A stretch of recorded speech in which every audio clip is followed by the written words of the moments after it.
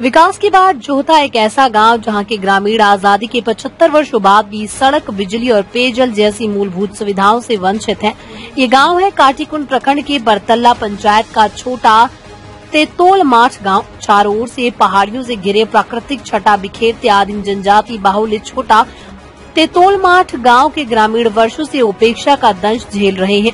छोटा तितोल माठ गाँव पहुँचने के लिए कोई सड़क नहीं है। पगडंडियों के सहारे तीन किलोमीटर पहाड़ी रास्तों से चलकर ग्रामीण मुख्य सड़क तक पहुँचते हैं। ग्रामीणों को स्वच्छ पेयजल तक नसीब नहीं है। गाँव में दस वर्ष पहले बना दो कुएँ हैं। जो भीषण गर्मी के कारण सूख गए।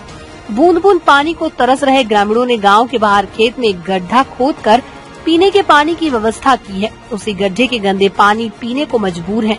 ग्रामीण ग्रामीण बताते हैं कि सड़क पानी जैसी समस्याओं को लेकर जनप्रतिनिधियों से लेकर अधिकारियों तक कई बार गुहार लगाई गई, परंतु उनकी जन समस्याओं पर किसी ने ध्यान नहीं दिया, हालात जस के तस हैं।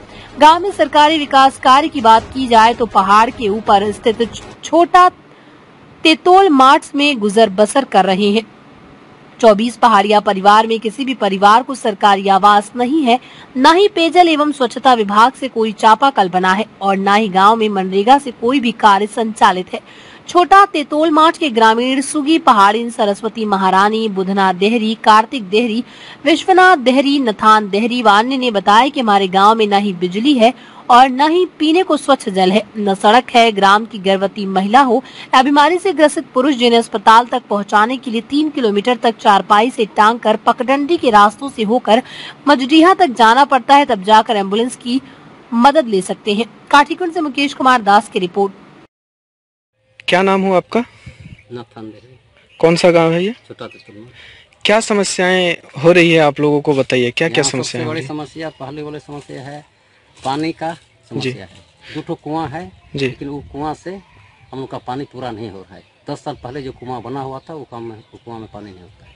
अच्छा तो पानी अभी आप लोग कहाँ से पानी लेते हैं? अभी तत्काल हम लोग पानी माइडिया से उठा रहे हैं। कितना किलोमीटर है यहाँ से तीन किलोमीटर दूर पड़ता है। अच्छा और क्या समस्याएँ आप लोगों को हो रही है? रोड का। यातायात का कोई सुविधा नहीं है यहाँ पे। अच्छा तो मैरिज जो होता है तो हम लोग टांग के ले जाते हैं तीन किलोमीटर। इसके बाद अपना सुविधा देख के गाड़ी उड़ी गाड़ी भाड़ा करके हम लोग ले जाते हैं। तो गंभीर मरीज़ को आप लोग तीन किलोमीटर टांग के नीचे तक लेके जाते हैं?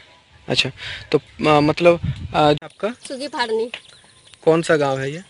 ये छोटा तेतुल मार्ट अच्छा क्या क्या समस्याएँ आप लोगों को हो यहाँ पर पानी का कष्ट है। जी। पानी का कष्ट है बहुत सूखा है पूरा कुआँ में भी नहीं है चापाकल भी नहीं कुछ भी नहीं कुआँ है गाँव में? दो गो है पोखरा भी नहीं है पकड़ा भी तो सूख गया है जरा सा भी पानी नहीं है। तो पानी आप लोग अभी कहाँ से लाते हैं? ये थोड़ा सा गड्ढा खोदे हैं खोदे हैं उसी का से ला रहे हैं।